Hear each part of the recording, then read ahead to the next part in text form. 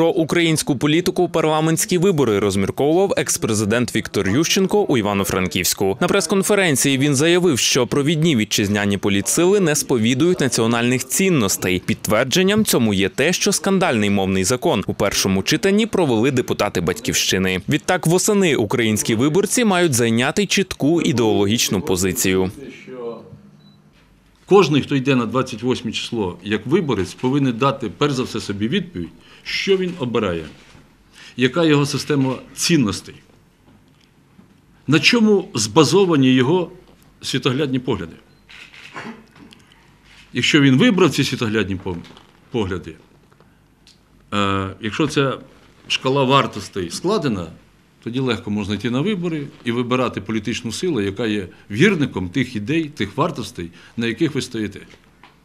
Віктор Ющенко переконаний, одна з найбільших вітчизняних проблем слабка громадянська консолідація. За його словами, чимало політиків цим спекулює.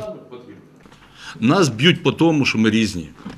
Що галичанин різний, ніж східняк, що в нас різні мови, що ми ходимо у різні церкви, що в нас різна культура, у нас різна пам'ять, у нас різні герої.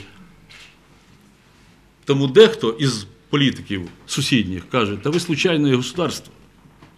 Та що ви говорите? Про яку пенсію, про яку зарплату? От Росії немножко далі і від Східної Європи що то дали територіально. Отак виникла Україна по їхній версії. На переконання екс-президента, жовтень 2012 року є визначальним для України. Парламентські вибори покажуть, з яким політичним курсом держава постане у наступному році. Іларіон Іваненко, Андрій Шкварова. Новини на вежі.